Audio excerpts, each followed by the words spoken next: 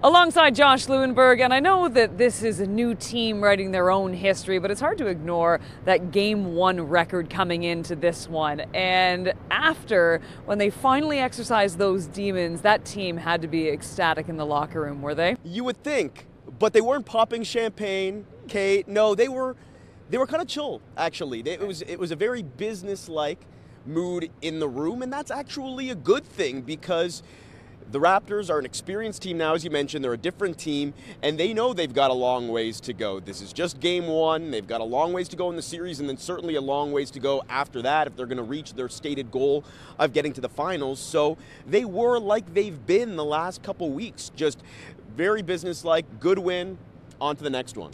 We can't say enough about Kawhi Leonard's performance in this one. He has a new career high in the postseason. He tied his career high with 45 points.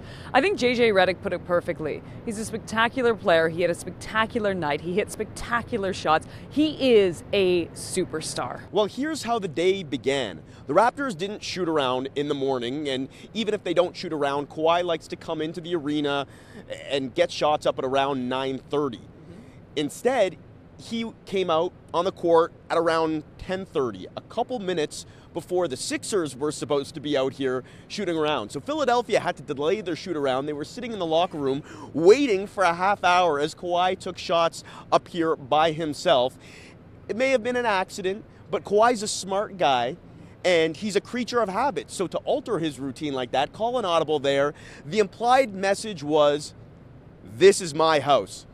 And that was his message, I thought, throughout the game as well. He, he just dominated from start to finish. And why do I think that this may be the new routine moving forward as well, as the Raptors will try to make it 2 0 on Monday night?